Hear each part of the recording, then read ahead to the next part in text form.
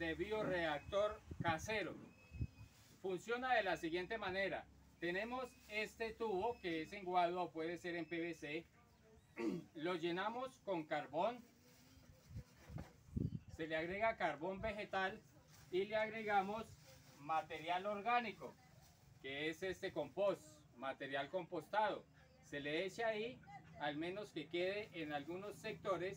Aquí abajo de la guadua se coloca una malla para que no, se, no salgan. ¿Y qué va a suceder?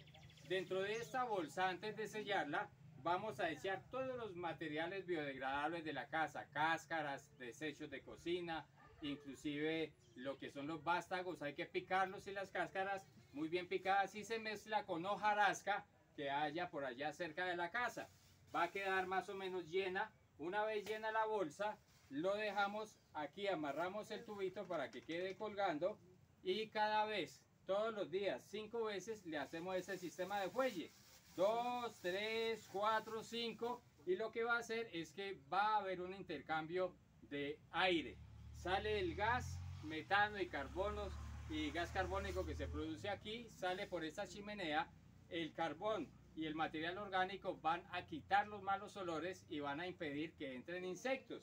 De tal manera que lo que tenemos acá en esta bolsa, en 30 días vamos a obtener un excelente material orgánico completamente compostado, humificado.